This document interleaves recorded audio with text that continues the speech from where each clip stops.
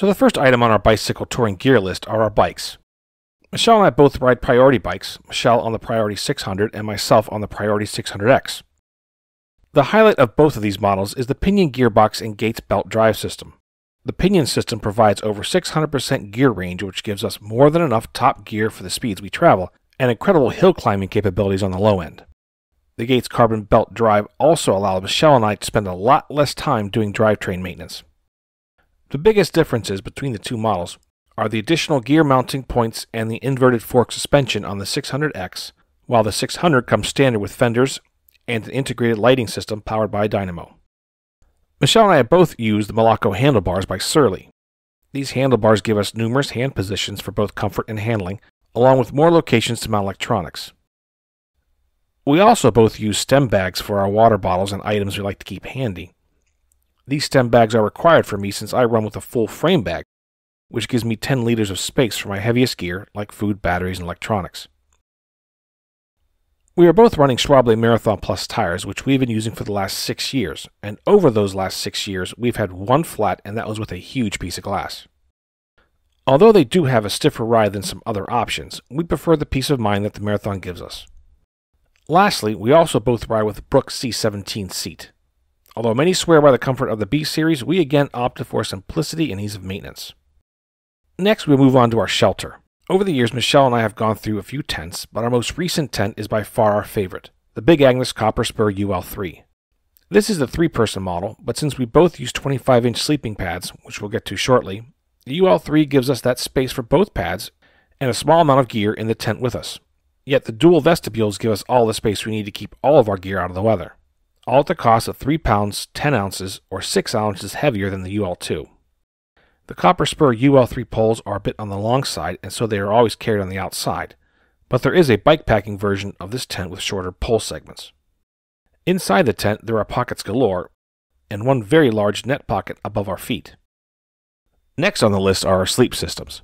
Michelle recently acquired a Big Agnes Boundary Deluxe, and after testing a lot of different pads, she knew this was the one when a pad test turned into a nap. This pad is fairly heavy and bulky, but at our age, the one thing we don't skimp on is sleep comfort. I've been using the Nemo Tensor, which I firmly believe is the best pad for the money and comfort.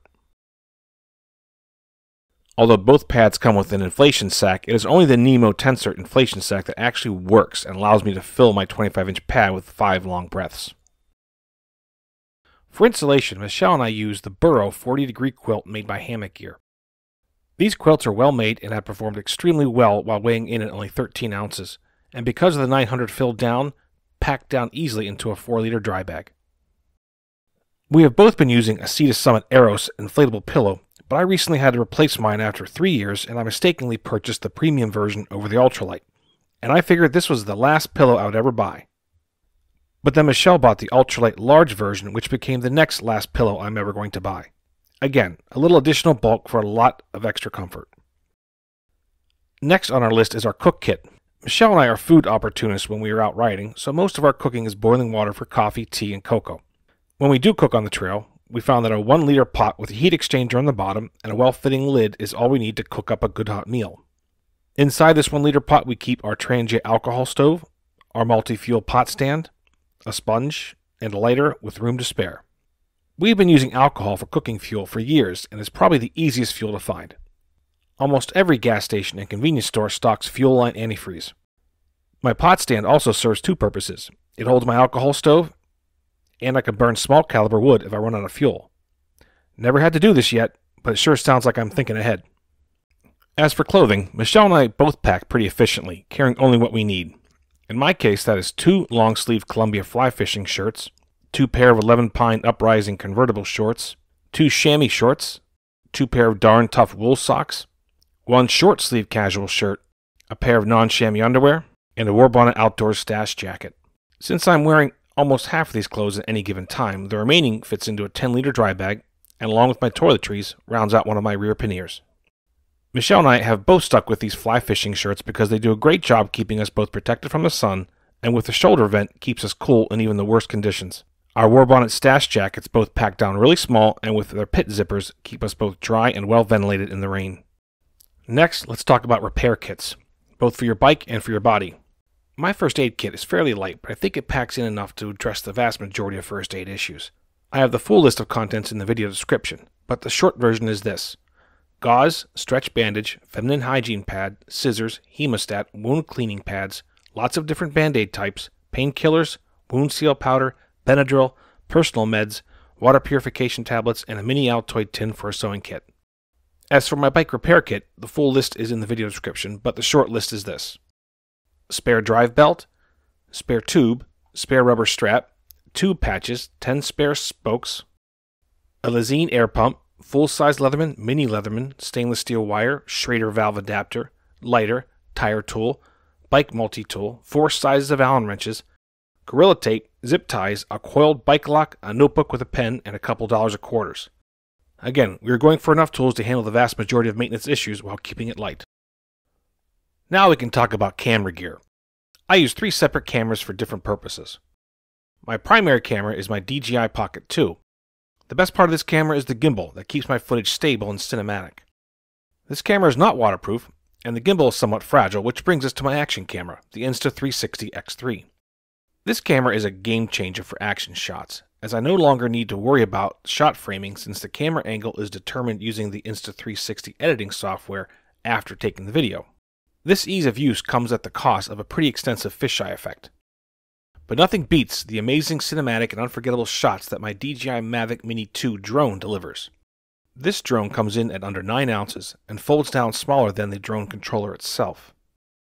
I use a special drone controller app on my phone called Litchi, which allows me to program the drone to follow me from any angle and altitude without me having to touch the controls, allowing us to get those unique perspective shots. All in, my camera gear weighs in at 2 pounds and 4 ounces. Rounding out the camera gear goes those last few tools and electronics to finish out the kit. I carry three 10,000 milliamp power banks, a 4 port USB plug adapter, multiple USB cable types, a headlamp, a backup flashlight, my Element Wahoo GPS, rechargeable head and tail lights, an inflatable sit pad, and a packable backpack. I have come to prefer multiple small power banks over one large one in the case of any individual failures. Our 4-port plug adapter and the USB power banks are quick charge capable, so even a short daytime stop with power can top off battery within the hour. I also carry a self-retracting USB cable that has three different USB ends to it, and USB pigtail cables that have two plugs on each cable, allowing us to charge a lot of devices all at once.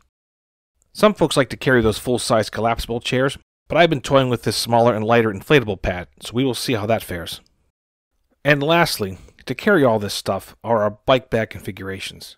Michelle and I take different approaches to bike bags, showing each person's preferences and the fact that there is no one way to do it. Michelle uses a very traditional bike touring configuration, placing the majority of weight on her back wheel using two 20 liter Ortlieb panniers and a 12 liter Ortlieb trunk bag. Michelle also has a porter rack on the front of the bike and uses that occasionally for bulky lightweight items. This configuration is less than optimal for bike performance as the back end is prone to swaying, but loading, unloading, and packing the gear is super easy. I prefer a more balanced approach to my bike bags, adding more individual bags to the total configuration, with some bags that stay on the bike. I use two 12 liter panniers on my rear rack, along with a 10 liter frame bag made by Rogue Panda, two 6 liter fork bags, and a 3 liter Revelate egress pocket bag on the handlebars. Michelle and I both use the Rockgeist Dr. Jones bag for the inside of our Moloko bars, giving us an easily accessible bag up top that can expand out to 9 liters. And there it is, all the stuff that a couple of midlifers carry to enjoy bike touring. Hope you liked the video, and feel free to let me know where we got it wrong. Peace.